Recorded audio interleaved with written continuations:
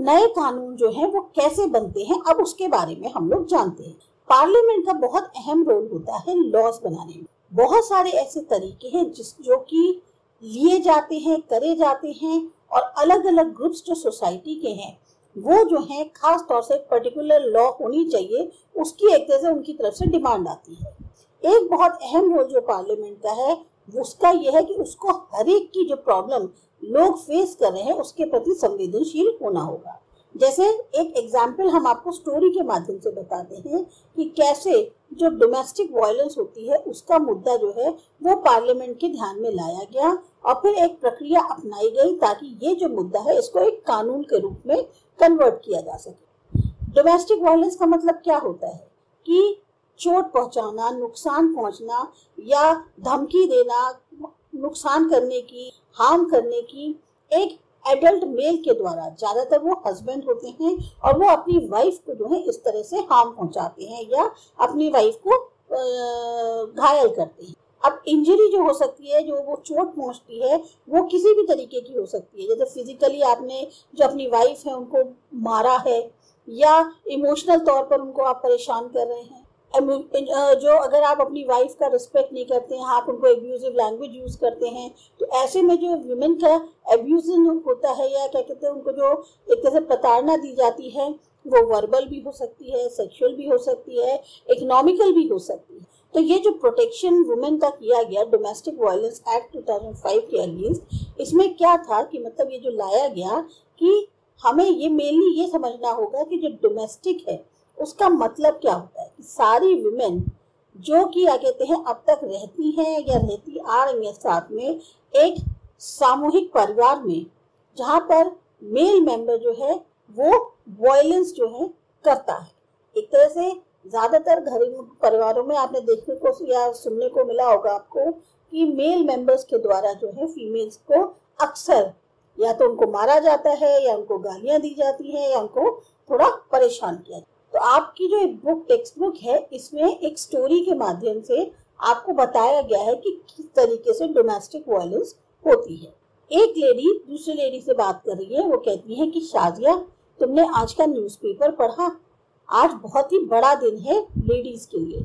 तो दूसरी लेडी कहती है कि, खाली लेडीज़ के लिए ही नहीं, बल्कि घर, ऐसे घर जहाँ पर अब हिंसा नहीं होगी। इससे क्या होगा? हर एक के घर को फ़ायदा होगा। एक लेडी का नाम कुसुम है, एक लेडी का नाम शाजिया है। तो जो शाजिया है, वो कुसुम से कहती हैं कि बहुत समय लग गया इस कानून को पास होने में। इसको तो जो है, बहुत पहले बन जाना चाहिए था, ये जो है हमारी ज़रूरत थी। कुसुम और शाजिया दोनों जो है एक विमेन ऑर्गेनाइजेशन के लिए काम करती हैं। वो याद कर रही हैं कि कितना लंबा सफ़र तय किया उन्होंने, तब जाके ये protection of women from domestic violence act पास हुआ। अप्रैल 1991 की बात है, एक दिन है उनके ऑफ़िस के अंदर मेरे को एक सलाह चाहिए। मेरे हस्बैंड मुझे मारते हैं। मैंने ये बात अब तक किसी से नहीं कही। मुझे बहुत शर्म सी महसूस होती है। मैं और इसे आगे बर्दाश्त नहीं कर सकती, पर मैं कहाँ जाऊँ? मुझे मेरे बेटे और बहू के द्वारा प्रताड़ित किया जाता है। बोल कर वो मेरे को जो है गालियाँ बकते हैं, जैसे कहते हैं ना, बोल बोल के वो मेरे को परेशान करते हैं। मेरे को मेरे बैंक अकाउंट तक कोई एक्सेस नहीं है। यहाँ तक कि उन्होंने मेरे को घर से निकाल दिया। मैं पुलिस के पास नहीं जाना चाहती, लेकिन मैं इस वायलेंस को रोकना चाहती और मैं उस घर से बाहर नहीं जाना चाहती, जिस घर में मैं रह रही हूँ। अब क्या हुआ? ये जब पहले की बात है जब तक ये लॉ पास नहीं हुआ था तो जो लेडी जिससे वो लोग हेल्प मांगने आए, उसने कहा कि भाई ये जो एग्जिस्टिंग लॉज हैं इस टाइम पे, ये तो क्रिमिनल्स की उस पे हैं।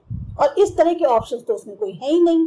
तो पूरे 1990s के दौरान जो है, इस नए लॉ की जो नीड थी, वो अलग अलग फोरम्स में उठाई थी जो विमेन्स थी, अब वो जो है एक तरह से प्रोटेस्ट कर रही थी कि हमने बहुत सारी और लेडीज़ जो है, उनकी जो बातें हैं, उनको सुना। हमने ये देखा कि जो विमेन है, उनको प्रोटेक्शन चाहिए, उनको मारा जाता है उसके खिलाफ। और जो वो उनको अधिकार मिलना चाहिए कि वो भी जो है, एक सामूहिक परिवार में जो है, वो रह सके, यानी कि जो हाँ उनके हस्बैंड रहते हैं, उनके सब पे और फैमिली मेंबर रहते हैं, उसमें वो भी रह सकें। और यहाँ तक कि चाहे वो टेम्प्रेरी रिलीफ हो, लेकिन उनको चाहिए। और हमें एक नया सिविल लॉ चाहिए इस मुद्दे को एड्रेस करने के लिए। 1999 में लॉयर्स ने जो है, एक कलेक्टिव जो होता है उनका, यानी ग्रुप ऑफ़ लॉयर्स होते हैं लॉ स्टूडेंट्स होते हैं एक्टिविस्ट हैं, या इतना सारा जो पूरे नेशन में इतने सारे डिस्कशंस हुए कंसल्टेशंस हुए फाइनली जो है ड्राफ्ट किया गया एक डोमेस्टिक वायलेंस बिल यानी कि प्रिवेंशन और प्रोटेक्शन बिल अब इस बिल को जो है पूरी तरह से सर्कुलेट किया गया। अब ये इसमें जो है क्या रखी गई डेफिनेशन जो डोमेस्टिक वायलेंस की थी कि इसमें फ़िज़िकल इकोनॉमिक सेक्सुअल वर्बल और इमोशनल एब्यूज शामिल होना चाहिए। लॉ में जो है हर वुमेन को कवर करना चाहिए जो शेयर डोमेस्टिक स्पेस में रहती है। उनको प्रोटेक्ट करना चाहिए, बाहर निकाल देने से कि जैसे सब परिवार वाले रह रहे वुमेन को बाहर निकाल दिया या मोनेटरी रिलीफ के बारे में जो है, इन सब चीज़ों को जो है लोगों ने कंसल्ट किया। तो जो वुमेन्स मूवमेंट था, वो जो है अब क्या मांग रहा था? अलग अलग मीटिंग्स हरी हो जा रही थी अलग अलग ऑर्गेनाइजेशन में। तो जो वुमेन्स मूवमेंट था, वो चाह रहा था कि एक नया कानून बने डोमेस्टिक वायलेंस पे। गवर्नमेंट को जो है, इसको पार्लियामेंट में बहुत जल्द लाना चाहिए। फाइनली जो है बिल पास इंट्रोड्यूस हुआ पार्लियामेंट में 2002 में। पर बिल वैसा नहीं था जैसा वो चाह रहे थे। हमें जिस तरीके का बिल मिल रहा था लेडीज़ ने कहा, नहीं, हमें उसका अपोज करना पड़ेगा। एक प्रेस कॉन्फ्रेंस करते हैं और ऑनलाइन पटिशन भी जो है, उसको स्टार्ट करते हैं। बहुत सारी विमेन ऑर्गेनाइजेशन नेशनल कमीशन जो विमेन की थी, उन्होंने पार्लियामेंट्री जो स्टैंडिंग कमेटी होती है, उसमें बहुत सारे सबमिशन किए। तो फाइनली जो स्टीम मेंबर्स थे पार्लियामेंट्री स्टैंडिंग कमेटी के, उनके सामने उन्होंने कहा कि ये जो प्रेजेंट बिल है, इसको बदलने की ज़रूरत है।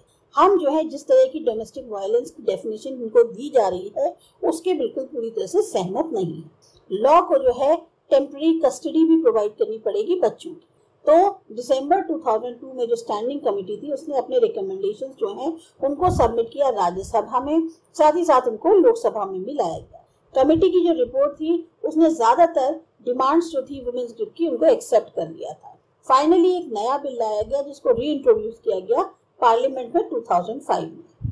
जब ये दोनों जो हाउसेस थे पार्लियामेंट के, इनके द्वारा पास कर दी गई, तब ये जो है प्रेसिडेंट को भेजी गई, उनके कंसेंट की तो जो protection of women from domestic violence act था, फिर वो फाइनली लागू हुआ 2006 में। अब 2006 अक्टूबर में जो है एक प्रेस कॉन्फ्रेंस हुई उसमें पूछा जा रहा था ये नया कानून क्या है? तो उन्होंने कहा कि ये जो नया कानून है इस अपने आप में सबसे पहला है जो वुमेन्स राइट को जो है रिकॉग्नाइज कर रहा है कि एक उनको वायलेंस फ्री होम मिलना चाहिए। कॉम्प्रिहेंसिव डेफिनेशन जो है डोमेस्टिक वायलेंस की उसमें दी गई। ये एक सिविल लॉ है, जिसमें रिलीफ प्रोवाइड किया जाएगा। उन लाखों संख्या में जो वुमेन है, उनको चाहे वो वाइफ्स हो मदर हो डॉटर हो सिस्टर्स हो, जो कि अपने घर में हिंसा से पीड़ित हैं। ये लॉ जो है, अपने आप में एक बहुत बड़ा स्टेप था, क्योंकि इसमें पहचान मिली थी, यानी कि वुमेन के अधिकार को, कि वो एक शेयर्ड हाउस होल्ड में रह सके, उसको प्रोटेक्शन मिल सके, ताकि उसके साथ और दोबारा हिंसा ना हो। उनको मॉनेटरी रिलीफ मिलेगा, ताकि जो अपने उनके खर्चे हैं, वो उसको उठा पाए, साथ ही साथ मेडिकल खर्चे जो हैं। फिर वही दोनों लेडीज़ आपस में कहती हैं, चलो, अब एक दूसरी लंबी जर्नी शुरू करते हैं। मेन क्या जर्नी थी? कि अब गवर्नमेंट को जो है इस चीज़ को इंश्योर करना होगा कि ये जो लॉ है, इसे लाया जाए और अब इसको लागू किया जाए। ज़्यादातर जो विमेन हैं, जो वायलेंस फेस करती हैं या अब्यूज की जाती हैं, उनको विक्टिम के तौर पे देखा जाता है। पर विमेन जो है, वो स्ट्रगल करती हैं अलग अलग तरीकों से ताकि इन सिचुएशन से वो एक तरह से किसी तरह से सरवाइव कर जाए। इसलिए ज़्यादा एक्यूरेट ये था कि उनको जो है सर्वाइवर के तौर पे देखा जाए, ना कि विक्टिम के तौर पे। तो आपने ये जो पूरी ऊपर एग्ज़ाम्पल दिया था, अगर इसको समझ में आया तो ये एक क्लियर होती है कि जो सिटीजन है, उनका बहुत अहम रोल होता है पार्लियामेंट को एक अलग अलग तरीके से मदद करने का कि वो जो है फ्रेम कर सके। यानी कि लॉस को फ्रेम करने के लिए उसको लोग काफ़ी हेल्प करते हैं। क्योंकि जिस तरीके के लोग हैं, उनकी जो प्रॉब्लम्स हैं, उनको अलग अलग प्रॉब्लम्स को ध्यान में रखते हुए पार्लियामेंट जो है लॉस को फ्रेम करता है। अगर आप चाहते हैं कि कोई भी लॉ जो है, एक नया कानून की ज़रूरत है और उसको पास हो किया जाए तो हर स्टेज पे प्रक्रिया के जो सिटीजन हैं, उसकी आवाज़ जो है, वो बहुत महत्वपूर्ण होती है। यानी जब तक पब्लिक आवाज़ नहीं उठाएगी, तब तक कैसे पता चलेगा कि इस कानून की बहुत ज़्यादा ज़रूरत है या नया कानून लाने की ज़रूरत है? अब ये जो आवाज़ है, हमें किसके थ्रू मिल सकती है? हम टीवी रिपोर्ट्स के थ्रू कर सकते हैं न्यूज़पेपर एडिटोरियल से हो सकती है रेडियो ब्रॉडकास्ट है लोकल मीटिंग्स हैं, इन सबसे मदद मिलती है।